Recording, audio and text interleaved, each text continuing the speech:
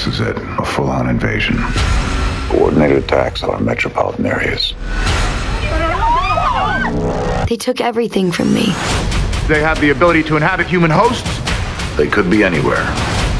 How are we supposed to fight them if we don't even know what they are? This is our world. The only way to survive is to find out who they are.